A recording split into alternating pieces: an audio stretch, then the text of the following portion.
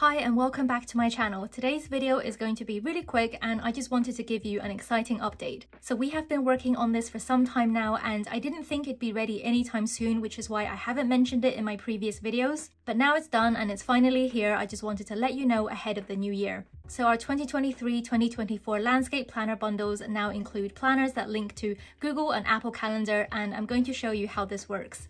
So here I'm using my iPad and on the Planner Builder page, you will see this option to choose either Google or Apple Calendar. If you're using Apple Calendar, all you need to do is tap on this link to set up the connection between your planner and Apple Calendar, and then you can build your planner as usual.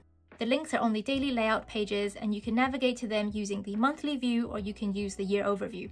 On the daily page, you can tap on any of these time slots and a pop-up message will appear.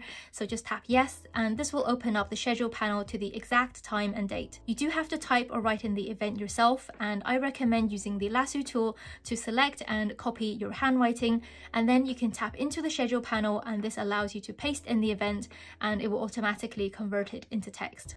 Then you can change the default notification settings if you want to do so, and then just tap on add to create the event in your Apple Calendar. This feature doesn't let you sync between your planner and your calendar. However, it does make it really convenient to create new calendar events and reminders based on what you have in your digital planner because it can open up directly to the correct time and date. So this is the half hourly schedule. So the schedule slots in Apple Calendar are also half hourly. Our planner bundles have different daily layouts and this is a different one with hourly slots. So when you open up the Apple Calendar schedule panel, the time slots here are also by the hour. If you want to create an all-day event, you can just tap on the date and this will open up an all-day event schedule panel.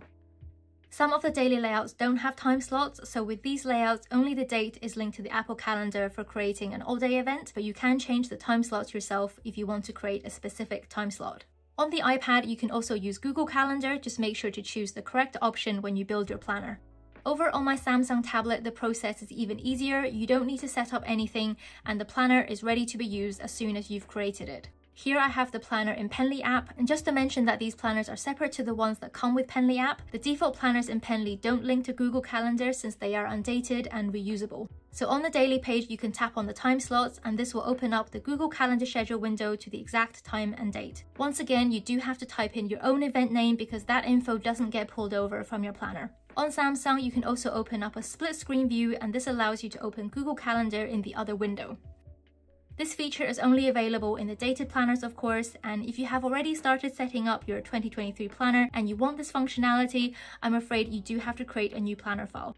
If you already have our 2023-2024 planner bundles, you can find this as a completely free update. Otherwise, I'll link to our planner bundles in the description if you want to check those out. This feature is only for the landscape planners at the moment, but we will be adding it to the portrait planners very soon. Anyways, let me know what you think of this new feature in the comments. Do you like it? Do you think you'll be using it? Give the video a thumbs up, check out my other videos, and subscribe to my channel if you haven't already. Thanks for watching, see you in the next one.